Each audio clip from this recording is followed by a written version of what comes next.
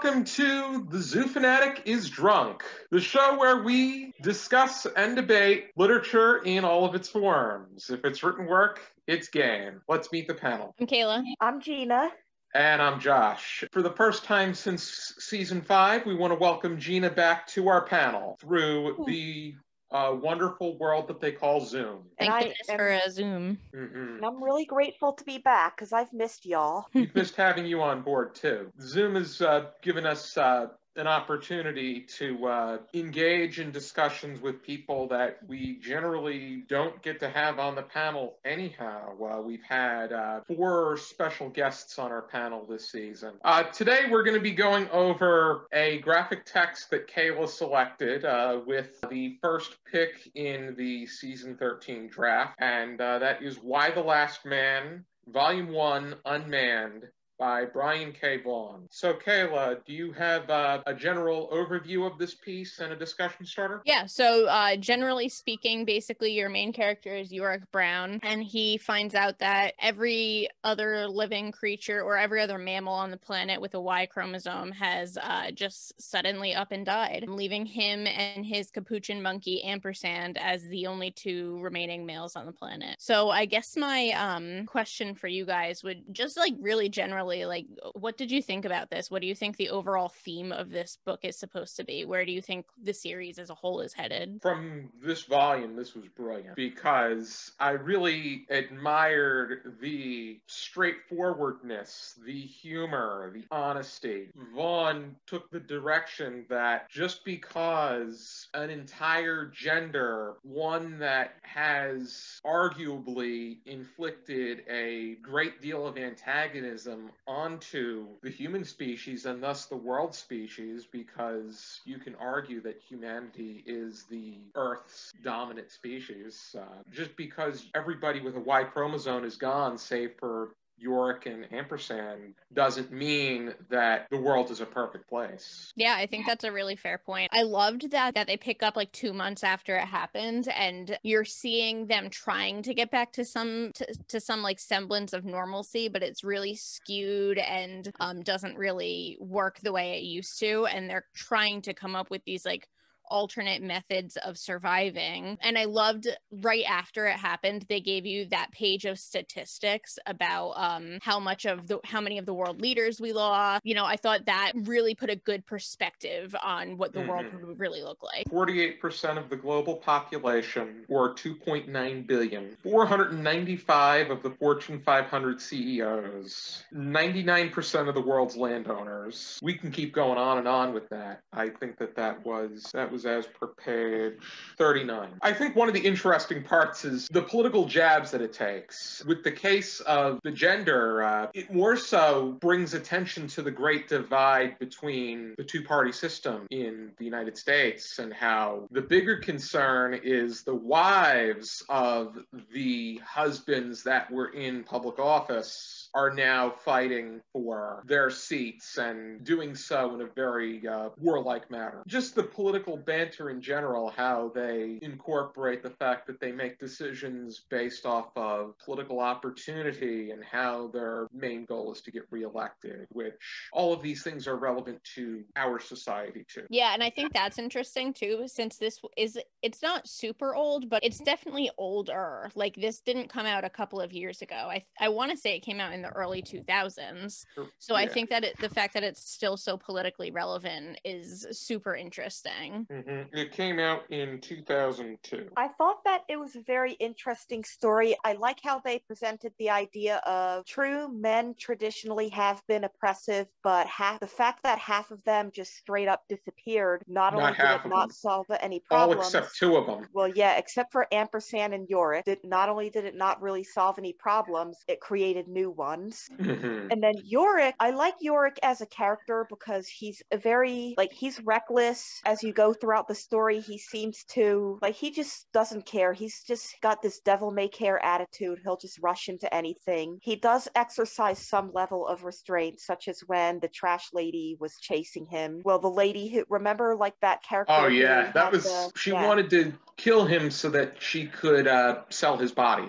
Mhm. Yeah. While he was very reckless, I also found York to be a voice of reason. He wants to uh, make his own choices in life, and I think that while some of them want him to reproduce with all of the women in the world, in order to replenish the population. He personally only wants to reproduce with his uh, fiance. Beth. And I, I love that. Like his story is, yeah, I mean, like, sure, I guess we could solve this issue of all of the men being gone, but really I'm more worried about getting to Beth. Like I I Mhm. love that he he's such like an average Joe kind of character. He's intelligent, but not geared towards things that would be useful in a so- society like this. you. But he's not preachy and he doesn't impose his choices on other people. Yeah. Even if he is to, uh, even if he banters with the agent that he. That's a big part of why they didn't get along was because she's a very no nonsense kind of lady and he's a little reckless. Like, he's reckless, but he has restraint. He's not heartless. He has people that he cares about, like his mother, his fiance, and then his sister, too. Something I also wanted to ask was, uh, what are your thoughts about the uh, Amazons? They're terrifying. I think that you're bound to get gangs like that in a soc- and I mean, you have gangs like that in any society. Like we Mhm. have gangs like that in our society. People that hate the other gender. So I think you're bound to see groups like that, no, especially in like an apocalyptic situation like this. But I think that the how like widespread they are is scary. Like you are you're Mm. bound to run into them. You can't avoid them. And you've read the entire series? Yeah. So I'm not really gonna pick your brain at the uh, uh, future books because I, I want to make my way through them. I was sold. I'm I'm really, glad that you liked this. I was so nervous to like introduce this as my book Mm. because it's such a bizarre Mm. concept and choice. So I'm really glad that you guys enjoyed it. I didn't know what I was going to think. I thought it was very clever. The way that Brian K. Vaughan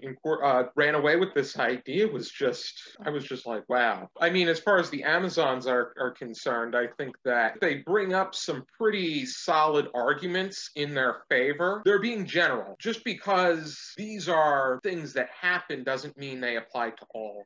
Yeah, like I didn't like the way that I think it was Victoria had heavily Yeah. implied that Yorick was a rapist. I didn't like that. Like that was unnecessary. No, you, you can't imply just because most of your rapists are men does not Right. mean all of them are. And or, or that all men are. no, Victoria's probably my least favorite character in the in at least the first book Oh, because she's very sly, she's manipulative, she'll she double talks. But it was interesting to see how York's sister joined the group. She doesn't know that he's still alive. She's just looking to get herself involved with a particular group. But at the same time, she's also had very poor luck with men. Yeah, I was just going to point that out. Like Yorick says she's had really bad relationships in the past. So for her to go down that path kind of makes sense because Mhm. she's been jaded before. Yeah, I mean, she's also she's also seemed very desperate because uh, when her and that the one guy are in the the ambulance uh, when there's something going on and they're having their way. Yeah, those the other um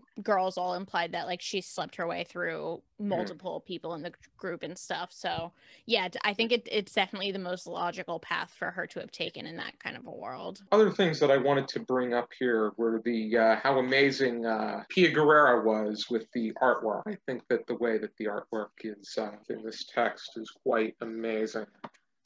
This is just Yeah. a random page that I. You have other scenes, something like this.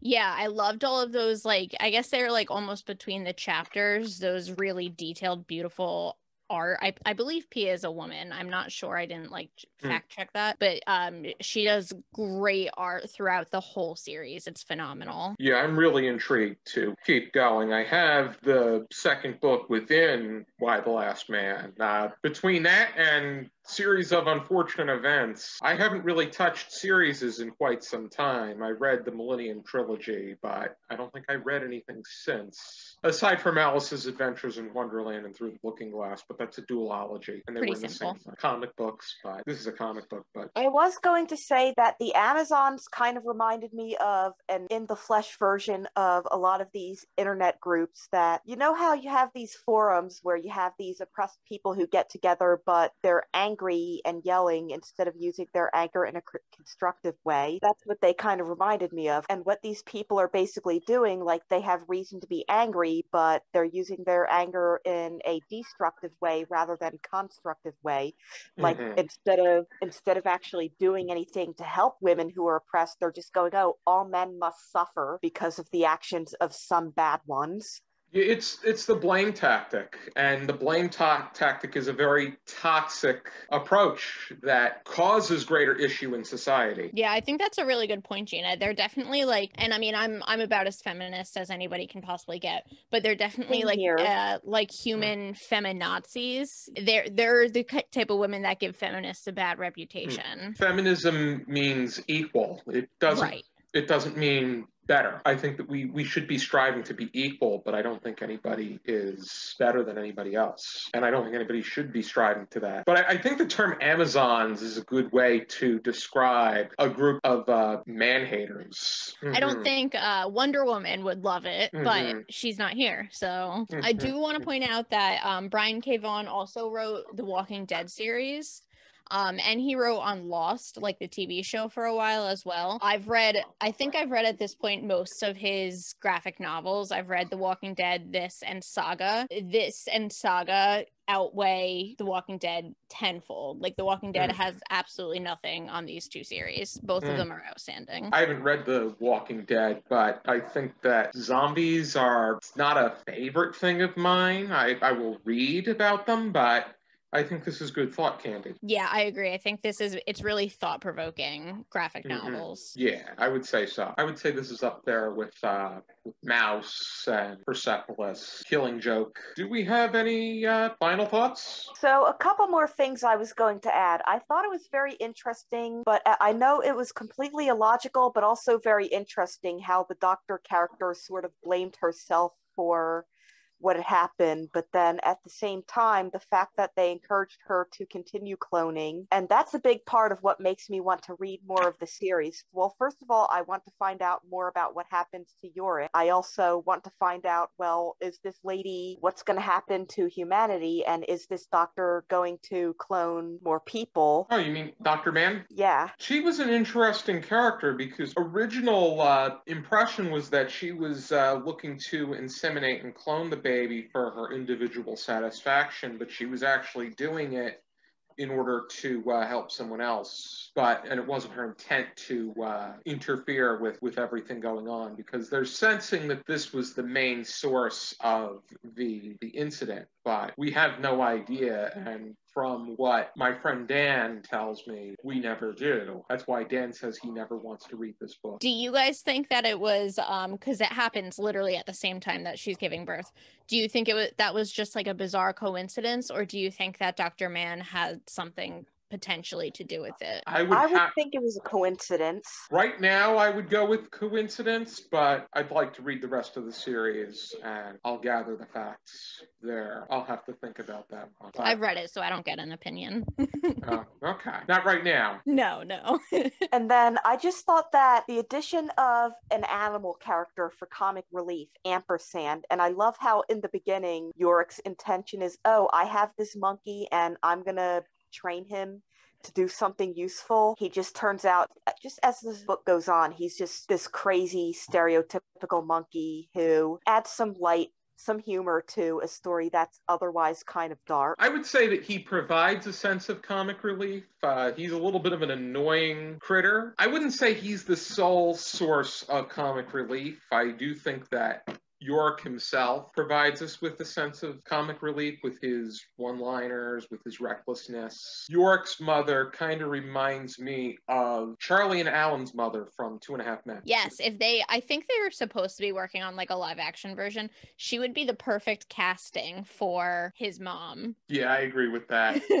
and I don't even like Two and a Half Men. No, me either. that, that's just what I think. It turns out that's what we think. Kind of want to read the rest of the series now, and I'm not much much of a graphic novel kind of person, so this was a little outside my alley, but I want to read the rest of the series now. Oh, me too. I'm gonna probably buy the entirety of the series. Uh, I think it's ten books. Yeah, I think so. I've got them in like slightly larger volumes, so mine is Mhm. five, but it would make sense then if it, if it's like ten in the smaller volumes. Okay, yeah, this has one and this is book one, so it's Okay. got one and two. I'll look into it and I'll invest in it any either any way you put it. But how would we rate this? Zero to five stars, half stars permitted, Kaila? Honestly, I would say four and a half. This has always been one of my favorite series since I first read it. It's the books that like launched me into graphic novels.